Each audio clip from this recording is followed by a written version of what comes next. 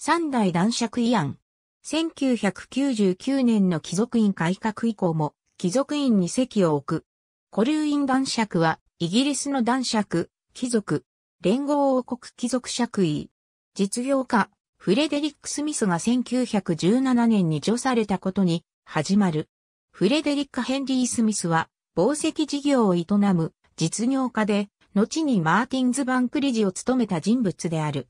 フレデリックは1912年に連合王国、準男爵として準男爵を授けられた。彼はさらに1917年に連合王国貴族爵位のデンビー州、コルウィンワンのコルウィン男爵に除された。彼は長男フレデリック・ヘンリーに先立たれていたため、初代男爵の孫のフレデリックが爵位を襲った。